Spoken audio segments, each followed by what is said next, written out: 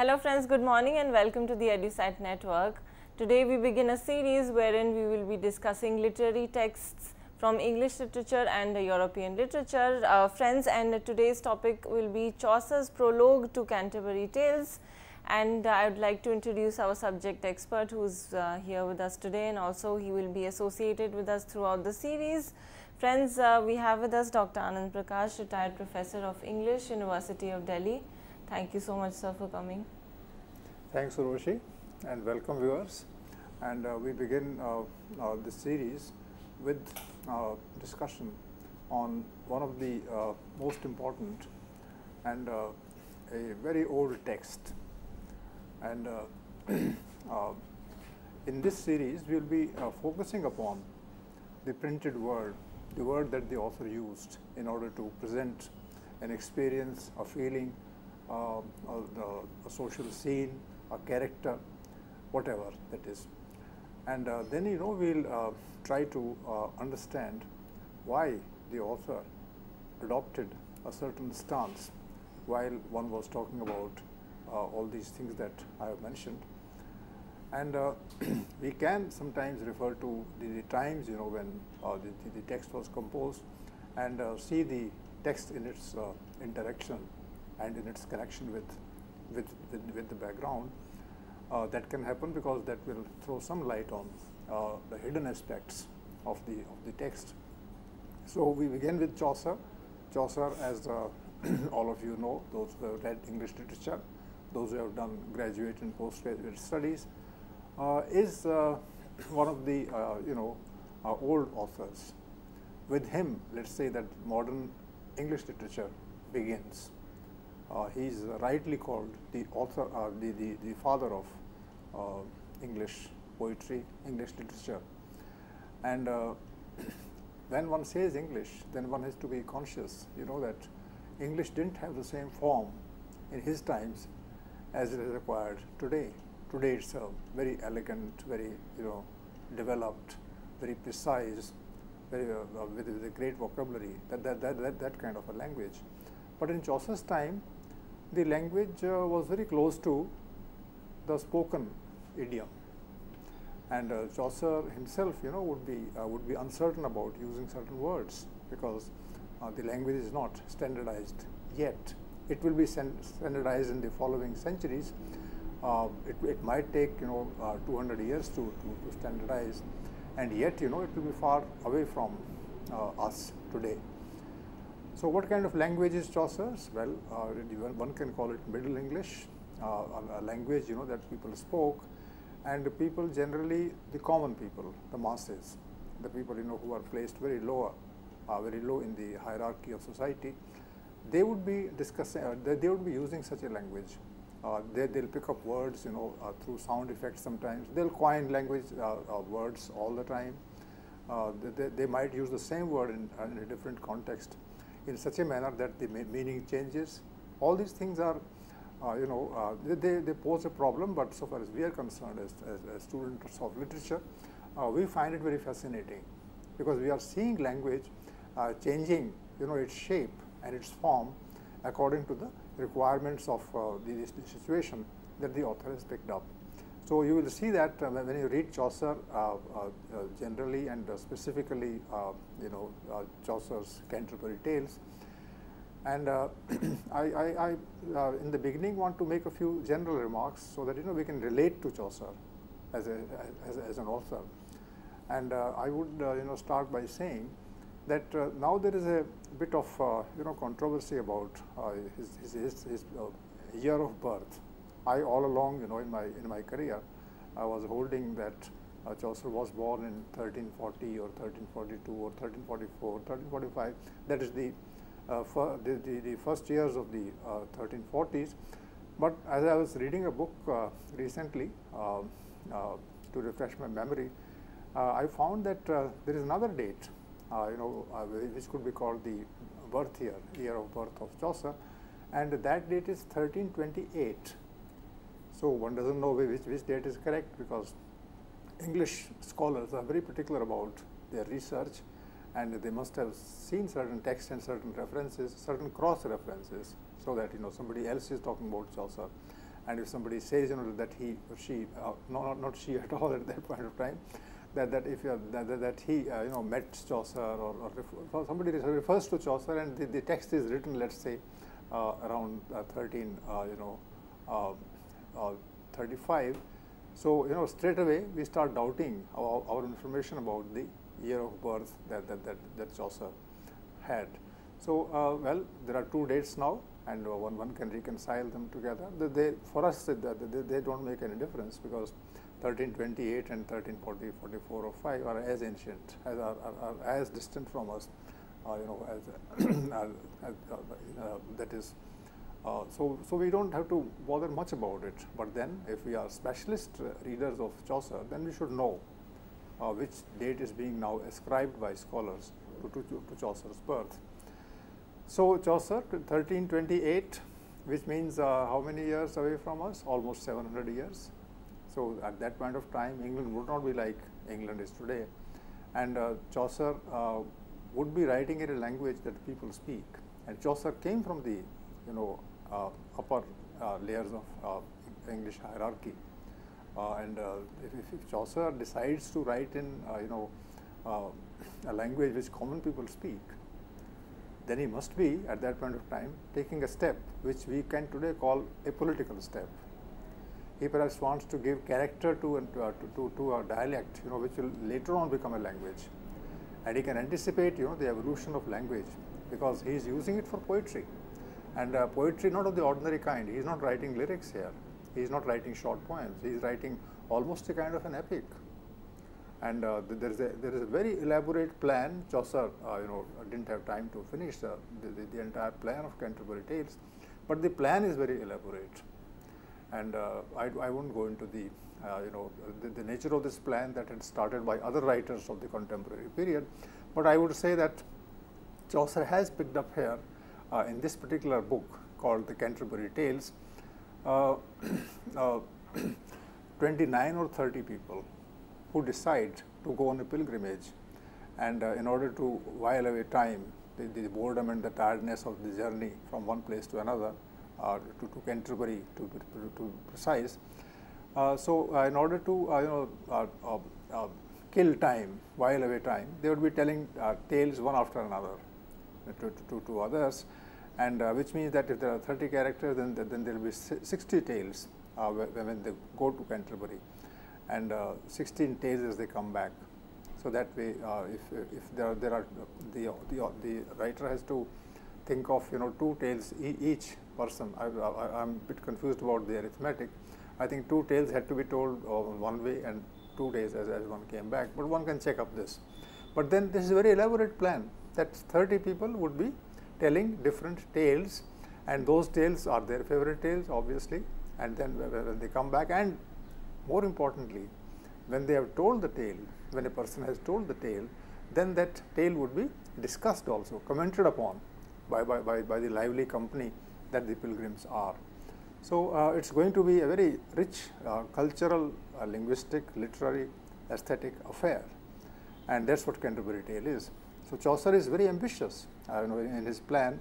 He, he did not live to uh, complete this plan, but then the plan was there this information and then let me uh, also uh, tell you viewers that Chaucer is speaking in the manner of a bard, in the manner of a person who sings.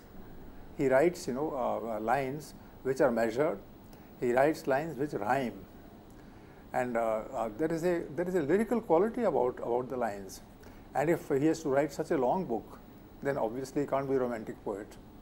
He, he has to be then you know all the time careful about what people are saying and uh, he would be uh, adhering to, to, to, to, a certain pattern uh, of, of language and since he'll, he'll be talking about different characters, so he'll keep their nature and temperament in mind. So it has to be very close to what can be called uh, uh, an epic, you know, which will capture uh, so many perspectives, 30, you know, perspectives to be precise, and it's not easy to, you know, maintain and, and, and appropriately present 30 different perspectives, 30 different uh, points of view, 30 different you know uh, angles to view the social scene of the day.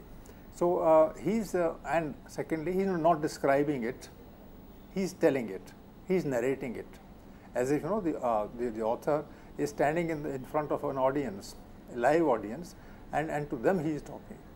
So, when that, that kind of stance is adopted by Chaucer, then Chaucer assumes the role of a bard, you know, the person who sings and entertains and, and, and sings, you know, no, no, no poems.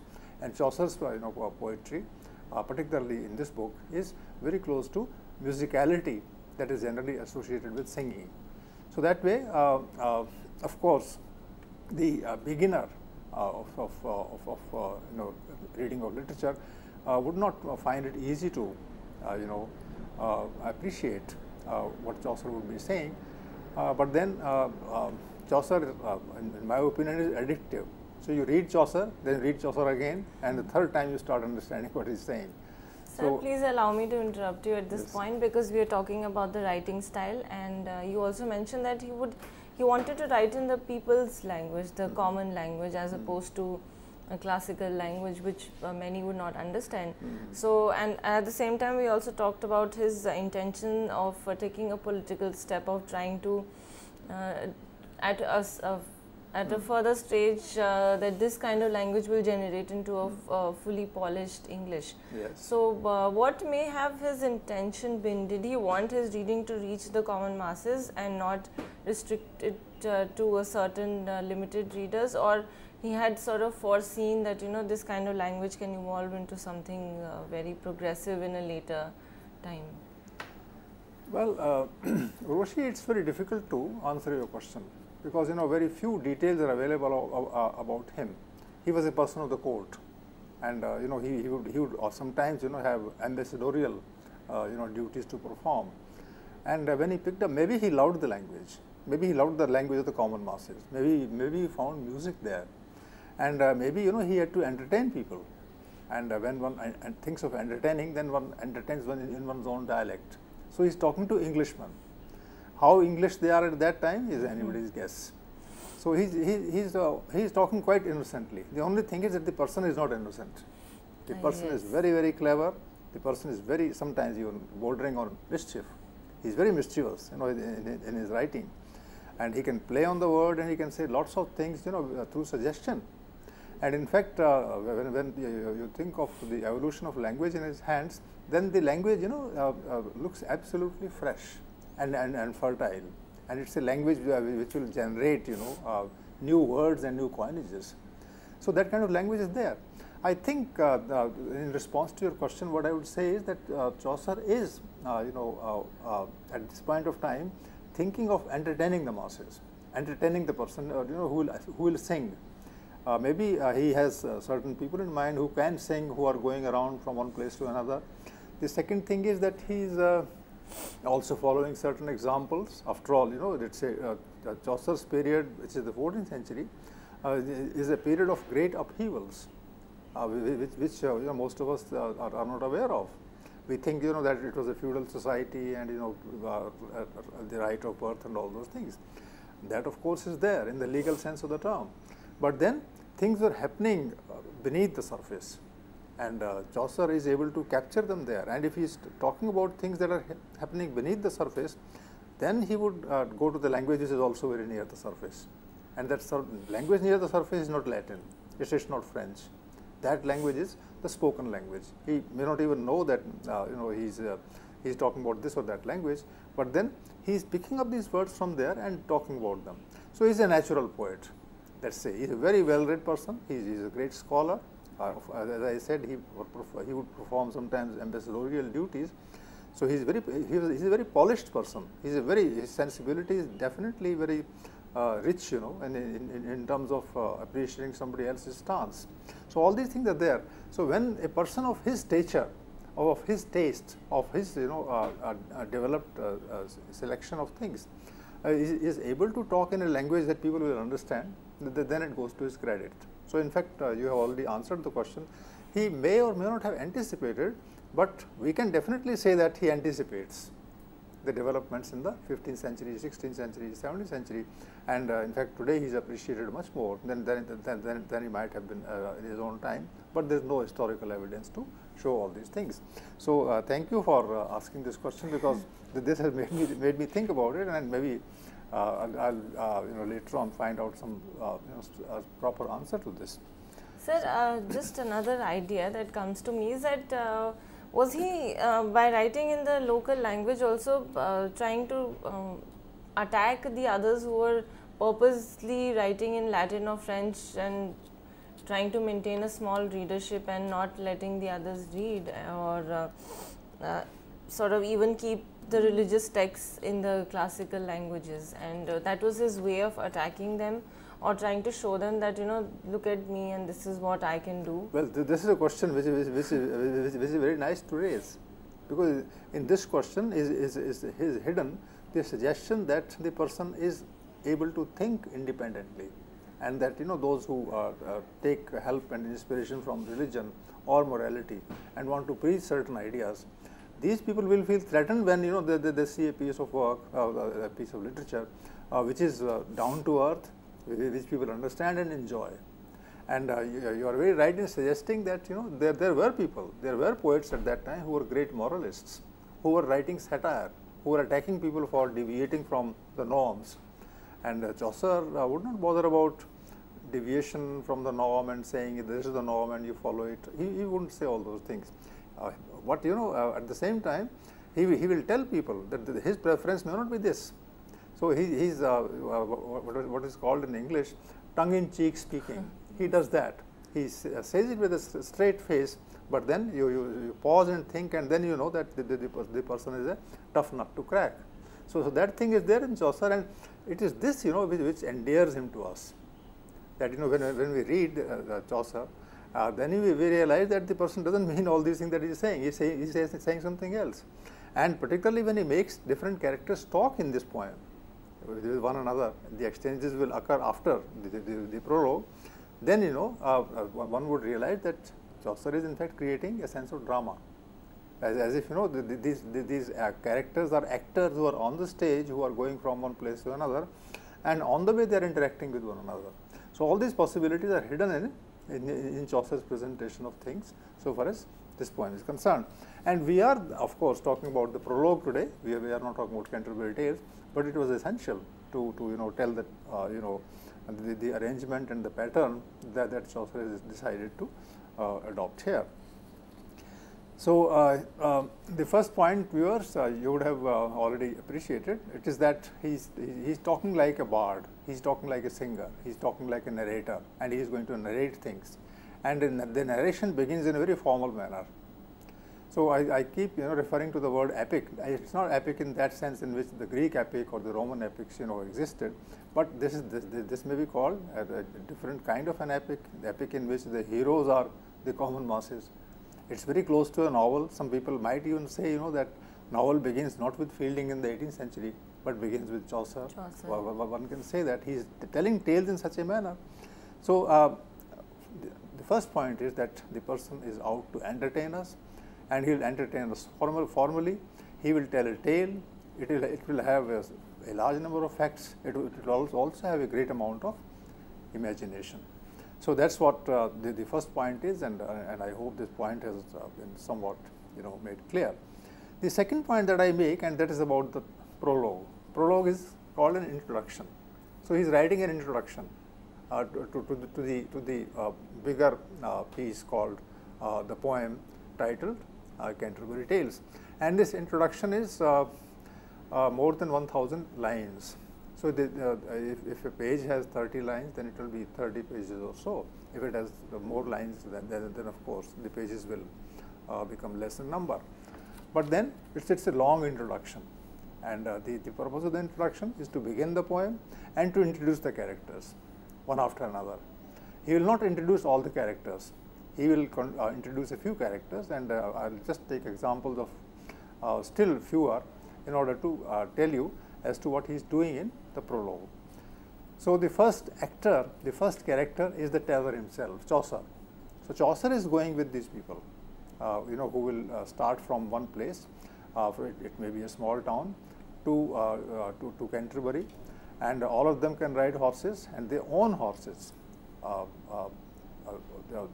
that's, that, that's the time, you know, when travel was possible only individually, on, on, only on the horseback. So, uh, uh, Chaucer uh, talks about these people who own their horses, who have assembled together there. They, they have come from different walks of life, from different professions. They might have come from different places. And uh, because that's how, you know, they, they, they, are going to mingle here as a, as a company. And very soon they, they, they'll become a well-knit, integrated company, in fact, community. And uh, you will see in this community, in this company, large number of diversities and that's the fun of life. Human beings, all of them have their independent, uh, autonomous, uh, uh, unique personality. But when they, when, when they get together, then they start talking and in the talking, they, they, they get joined with one another and, and assume the shape of a community. So this is going to happen. They come from different walks of life. They get, get together here uh, at an inn. They, they, they would spend the night here they, they, in, in, the evening there, there might be a discussion among them and uh, in the uh, in the morning the next day they will all begin their journey from this place to Canterbury. Why do I call it a small town? I, I do so because uh, the, the language that Chaucer has adopted is the language which, which is diverse, which means it's, it's not a village. So people have come from villages to, to this small town. It has uh, an inn and uh, there is a host here uh, the, the, the owner of the inn who is a host and the owner himself is so excited when, when he meets these people that he offers himself as a, you know uh, uh, as, as a additional company. So he'll also get along with, with the with the people. So you have Chaucer, you have the, the, the he's called mine host, and you have you you will have these uh, 29 characters, you know, uh, people who come from uh, different villages. The formal beginning of the prologue so, first the poem, then its beginning which is the prologue and then the beginning of the prologue. So, just see that formal beginning is about the month of April. Why the month of April? Because that is the time when Chaucer says in, the, in, in, in, his poem, that is the time when people think of going places. Before that it is very difficult in England to take up a journey. So, the, the April has come April has infused a new sense of uh, purpose, a new sense of dynamism, a new sense of vitality in the people. It has energized them, and uh, the nature itself is now now, now uh, you know changed from from its old you know uh, uh, form. When you know it was uh, hidden beneath the you know the the, the ice, the, the, the snow, and everything was frozen. Nobody could move out easily, but now there is a thaw. Now there is a melting and the melting is occurring and leaves are coming out and then, then Chaucer says this is the month of April and then he starts celebrating nature in, in, its new form. So, the first you know uh, uh, part of uh, the first page of the of, of, the poem is in the form of a celebration of nature and it uh, you know for instance he talks about, about the month of April when, when your showers begin and these showers are sweet showers that they, they, are not as biting uh, and, and, as you know uh, pain giving as, as, as, the showers in February or January. So they, they are, he calls them shoures soote. That, that's the language uh, of sweet showers. So he's talking of uh, you know uh, sweet showers. He talk, he's talking of birds. Birds have started singing in April. He talks of flowers. Flowers smile. He's, he's using the word smile there. For flower, flowers smile. There is moisture this moisture is running through the veins of the flowers and maybe birds. And if birds and flowers are uh, remain uh, uh, they, they, are touched by you know the moisture, then how can human beings avoid the moisture? So they also have a new a new kind of life flowing in their veins. So and and uh, human beings have themselves become uh, very close to nature. And then there is morning breeze. He's, he's referring to Zephyr, uh, uh this uh, morning breeze. So all these things combine flowers, birds, water, moisture, uh, you know, trees, and all, all, all, all these all other items. And human beings also become naturally keen to visit places and experiment with their time there. So, so this, this is the spirit. So, so the spirit is of uh, going from one place to another and enjoy good company. Then you know the narrator uh, is himself a very good humored person. that, that would be Chaucer obviously, Chaucer himself in first person narrating it. So, Chaucer would be uh, a very good uh, you know uh, communicator. So, he is able to tease people, he can play with words and uh, he can talk, you know, in, in a manner that people will start smiling, laughing, enjoying, etc. So he is, a, he is a, that way himself as, as a character in the in, in, in, the, in the poem, very uh, you know, amiable and very sweet. and uh, because he is sociable, uh, he mixes so well with people. So you can straight away go to a person and you know uh, scold him mildly and then say, "Come out of yourself. Why don't you talk?" And then he talks to goes to another and he says, "Please stop talking. You are talking too much." So he can say all all kinds of things, you know, to, to, to the people whom he has never known. But very soon he says that these people become really uh, quite natural in their in, in, their discourse, and they, they, they will you know then become what is called a well-knit company. uh, then you know in this in this prologue is marked by, and this is what uh, we, we uh, enjoy, discuss, and enjoy the prologue. Uh, it offers to us pen portraits. Now, pen portraits almost literally in the sense you know that Chaucer is using his pen, Chaucer is using his description, Chaucer is using his words in order to create a picture of a person. So, you in fact, uh, uh, some people have also drawn pictures of, of, of, the, of, these people on the basis of what Chaucer wrote. And uh, so, these are all pen portraits and so, so you, you would say that there would be at least 10, 15 portraits you know, that, that Chaucer has gone into detail, uh, into, into final details to uh, select and put in the picture. So, they are uh, even those who are quiet will become uh, vocal later uh, uh, in, in, the tale, uh, but you know so far as the, the, this first part is concerned you have a large number of people who are presented to us as pen portraits and critics you know have called Chaucer's prologue a portrait gallery. So, it is a gallery of portraits, it is a cluster of portraits and all the all, all the portraits are hung on the wall.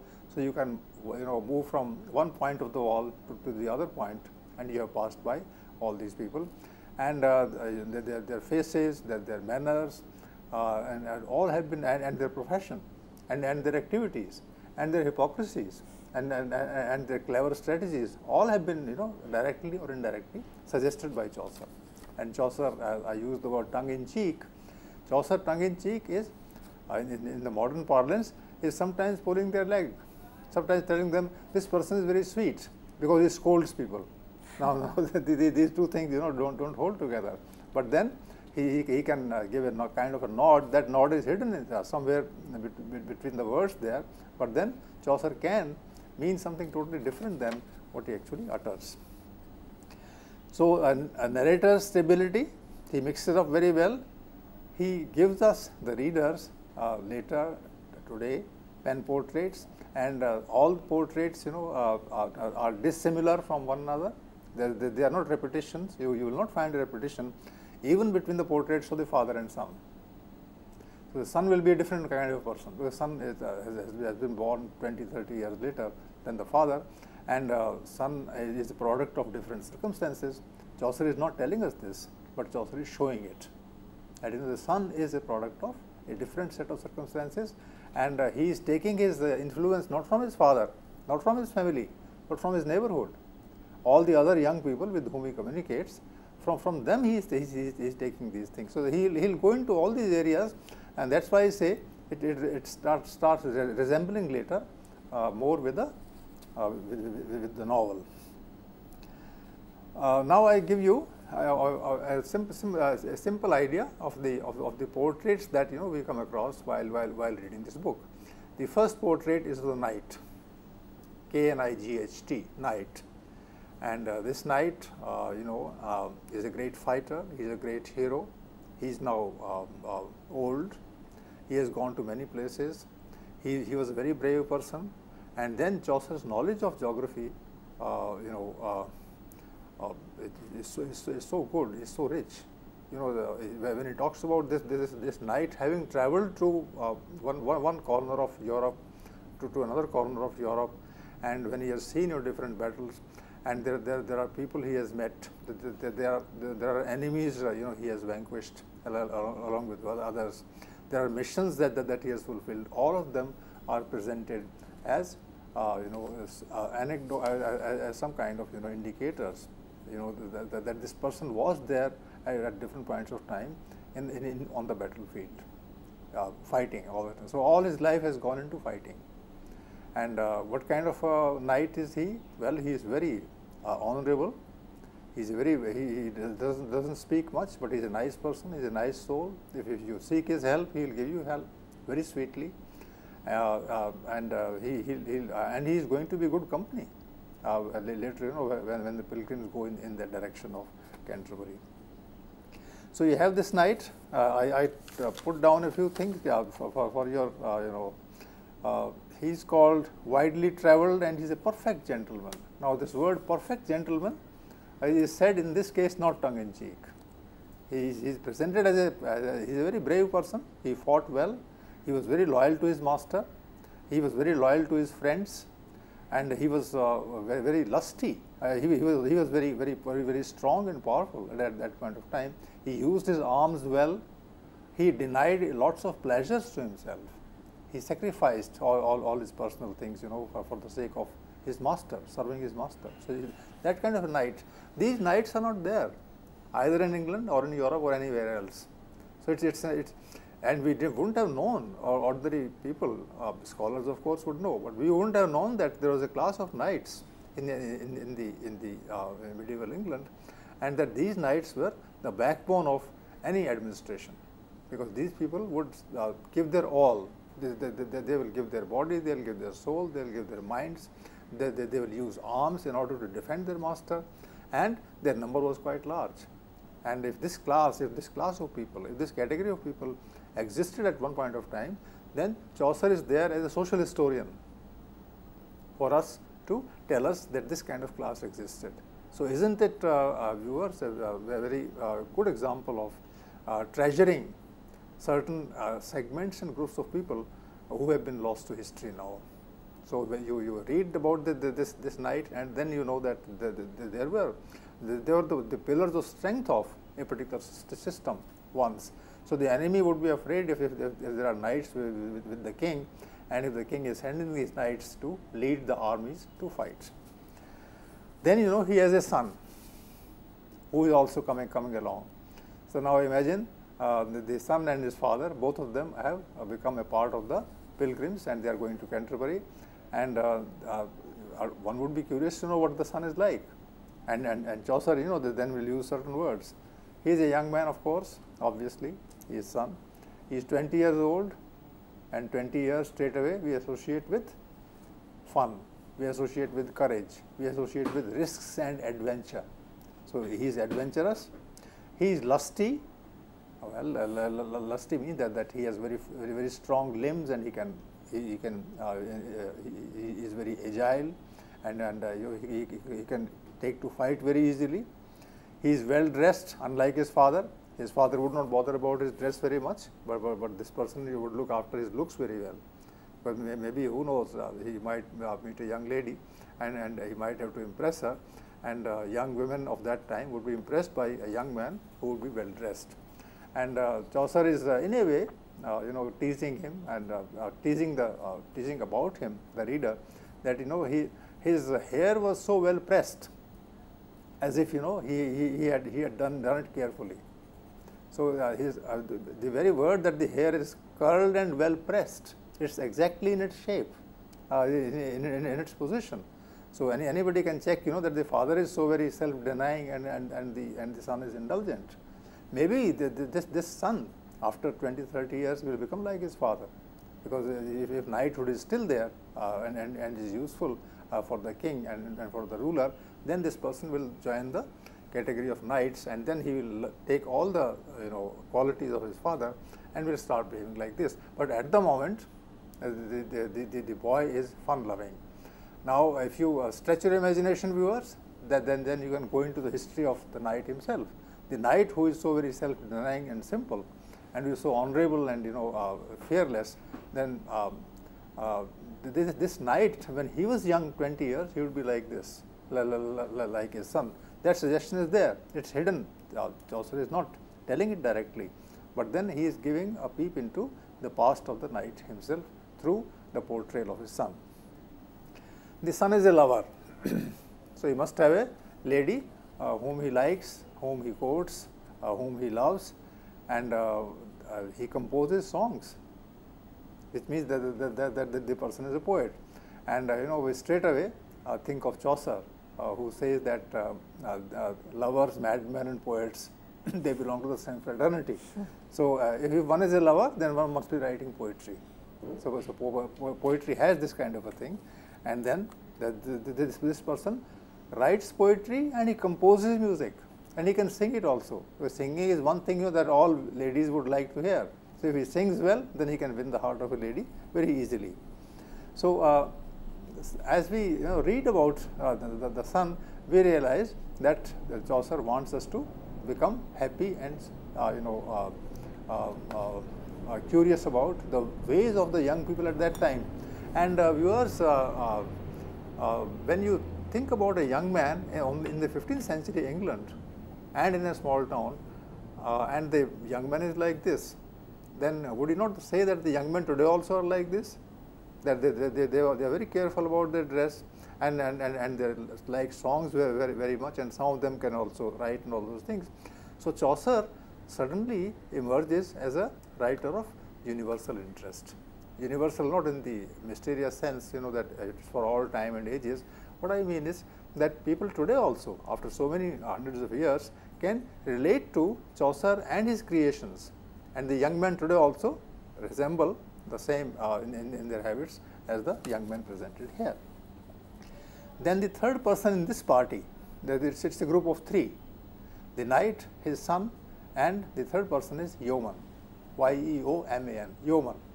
And uh, you know, the now on, we have only have a phrase. You go to the dictionary and find out what yeoman is.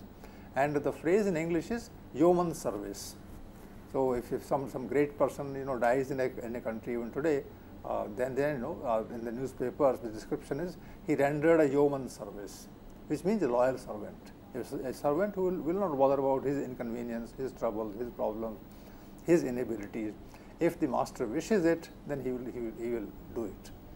And uh, Chaucer packs this description uh, in, in the portrait of the yeoman with a large number of weapons so he has weapons everywhere on his body. So he has weapon on his shoulders, he has weapon on his chest, he has some kind of weapon on his uh, hands, his legs, etc. Some are hanging, you know, on, his shoulder, etc. And I saw some pen portraits of uh, the, the, yeoman, and the yeoman, uh, you know, seemed uh, as, as, if you know, it was, it was a person who was carrying a lot of load with him. But this yeoman, and this, this class also is no more there any, anywhere in the world. Uh, I think it's in, in Shakespeare's time also, the, the, the, class of yeomans didn't exist as much because there, there, there are no very uh, you know telling descriptions of, of, of yeoman at that time. But then they were there in Chaucer's time and these servants and uh, they, they, they, are not ordinary servants, they, they, they, they were actually uh, equipped, well, well equipped and competent fighters. They, they, they would protect, they, they would be like today's bodyguards. So, uh, uh, the, the knight would also have a bodyguard with him. So, knight would not unnecessarily fight with somebody. But then Uh, uh, the, the yeoman would uh, do all the chores and uh, will, will protect his master like anything and he has all the arms you know on his body. He doesn't believe in you know carrying a box etc. He must take the arms straight away from, from, from, from some part of his body where it's hanging and he will use it. So, he will have a dagger, he will have a sword, he will have other, he will, he will have a javelin and all these things he is carrying himself. So, that, that's the yeoman for us. And then Chaucer says, no other person. So far as this company is concerned, it's just three. So what you see is that the knight is described well, his travels and all.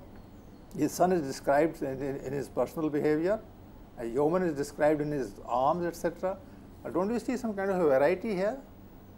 Chaucer is that way capturing, you know, the the the, uh, uh, the, the uh, social scene uh, through these different characters.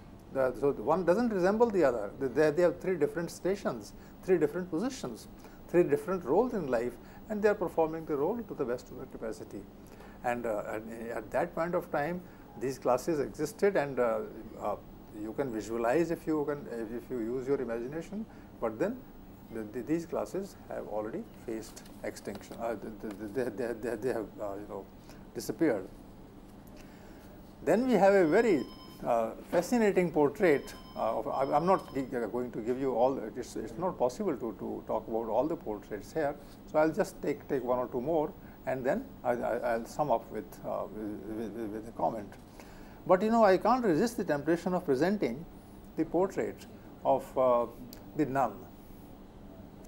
Now, we have nuns today, they, they, belong to Christianity. In, in India, you, you, have nuns and they, they, are known for their service and they are very simple souls and uh, they, they, they, believe in uh, some kind of self abnegation.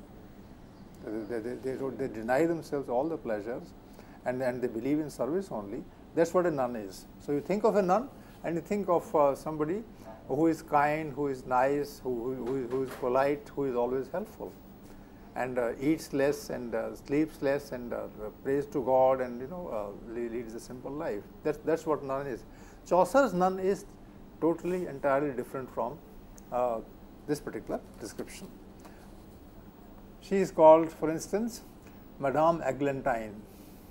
That's not how, how nuns would be. Nun, nuns would be called by, by their half names. And uh, here he, is a madame. She is a madame, and uh, she she speaks French most of the time. The French is uh, well uh, very fashionable at that time. So you have a nun who is fashionable. You have a nun who talks in French the French is not the original Parisian French, as the way France was spoken in, in, in Paris at that time. It's, it's an English French.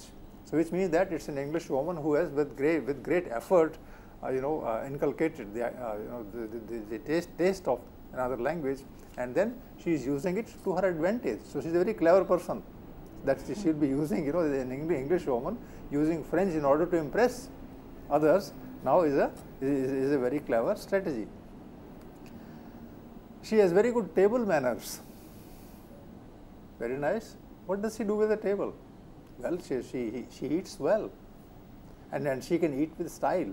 Now, uh, uh, I, I, I can't you know go into the details of how one can eat with style, but then uh, one uh, particular gesture that he has captured of, the, of this nun is that she holds the spoon very steadily in her hand, she puts it in the cup she uh, the, the, the, the, spoon travels in her hand towards her mouth. It doesn't it doesn't spill anything on the way.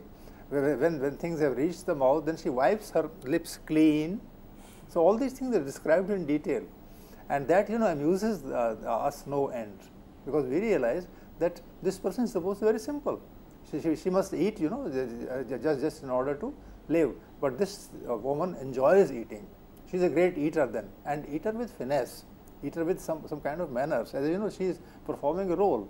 So, uh, uh, maybe uh, this lady will be a role, role model for all the well mannered uh, upper class women of today who know how to you know hold their spoons and all those things. And uh, you know, uh, Chaucer is talking about sauce, which means sauce was there at that at, at that mm. time. And the, the, the whatever she is eating, and, and she has to sometimes dip her fingers into the sauce, but then she uh, touches the sauce so well that the, the, the fingers do not get you know uh, uh, the, uh, any, any trace of uh, the, the, uh, sauce on them and she can, she can do all this. She is cheerful, she is elegant, she, she has a behavior that she must have learned from somewhere that imitation shows. So, Chaucer is telling us, Chaucer that way is, is trying to expose her hypocrisy that it's not a uh, it's not a well bred person in the, in the sense you know that uh, she, she has not got it acquired from her family. Uh, she has uh, acquired through her own efforts. So, she is a person uh, who, who, who uh, shows what is called the imitated behavior. And she when she sees a mouse trapped, she has tears in her eyes. On another occasion, she, she, she is feeding her you know hounds with roasted meat so, so, so, the two descriptions, you know, she's so very, uh, you know, kind and nice, you know, that when the mouse is trapped, that then she starts crying. But on the other side, you know, she, she, she, she cuts the mutton so very, so very well. So all these things. Uh, she has a tender heart, he says. She wears ornaments and she likes ornaments very much. And then, the ornaments are described here. And uh, then she has, uh, of all things, you know, uh, some kind of, you know, in, uh, you know, uh, symbol of a saint, uh, and at, at, and, and at the middle of the in, in, in the middle of the you know the, the, that particular symbol, the, the, word A is inscribed, and then there is something in Latin, and it is and the, if you translate that Latin phrase into English, then it is called "Love conquers all." And love has two meanings here. The other, one love is love, love for God, and the other is that she she is loving all these things, and she, she is thinking of worldly pleasures. Why why have I taken so long to uh, talk about uh, this particular portrait? My idea is to show you, uh, you know, that uh, Chaucer is using these details to tell us about the hypocrisy of this group. They, they, were supposed to be religious minded.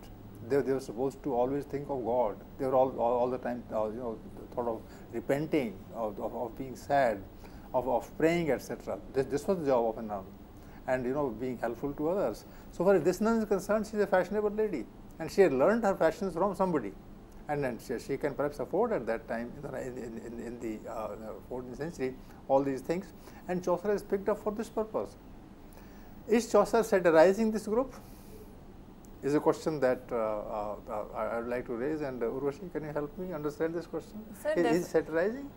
So definitely like you use the phrase he's tongue in cheek and uh, none of these uh, people with the descriptions that we have learned uh, perhaps the knight is, uh, is uh, still sober, but his son is always concerned about his looks. The yeoman is sort of preoccupied with his weapons, and the nun is too uh, taken over by French manners and the French language. And of course, none of them is really concerned with the objective of the pilgrimage, but it is sort of a vacation for them. But they are going and they are talking to each other about how uh, say prosperous or how uh, wonderfully one is doing. Let me now, now, now extend the point further.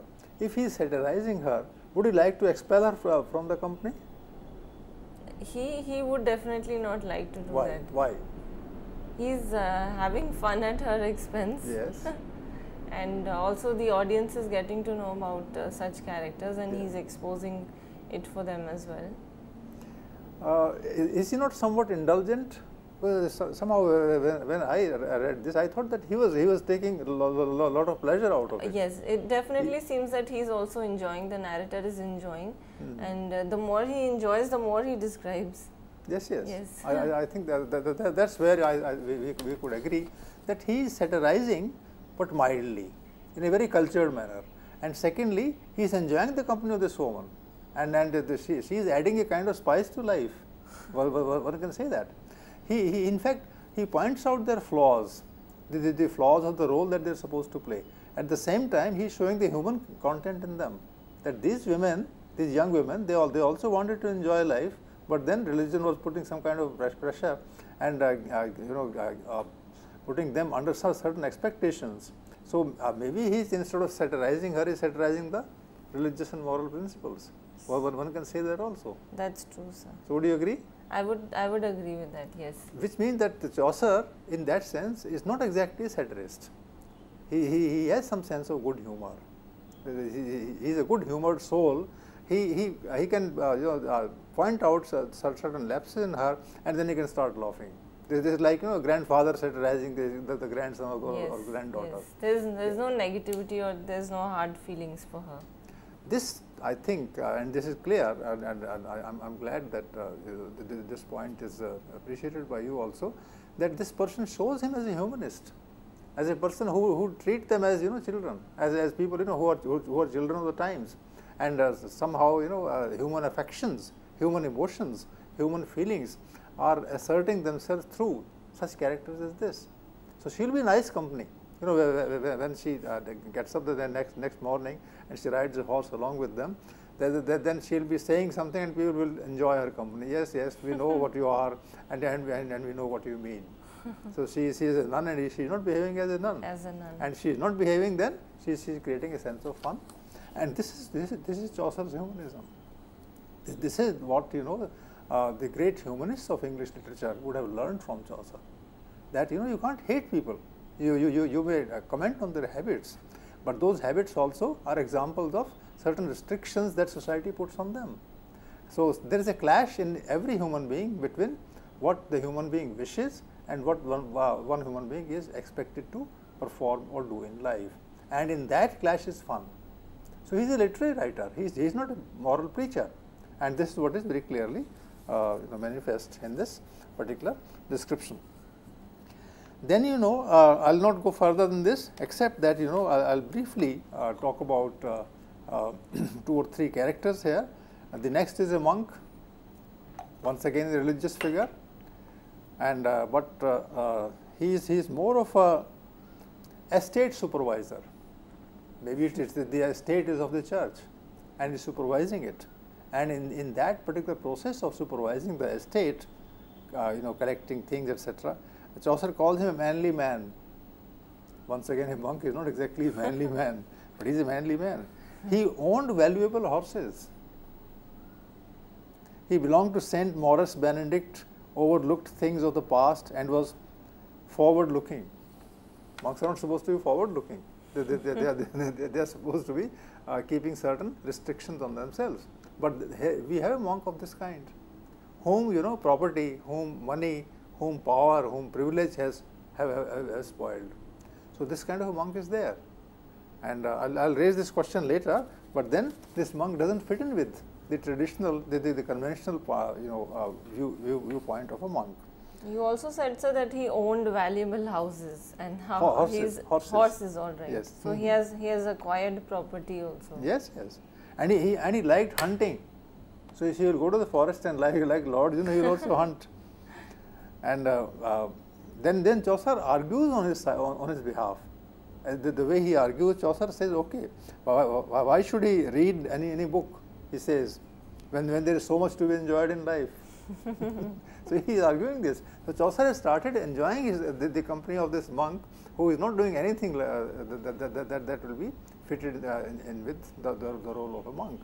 So that way, uh, so uh, he, he, he is a hard rider, he rides, rides very strongly.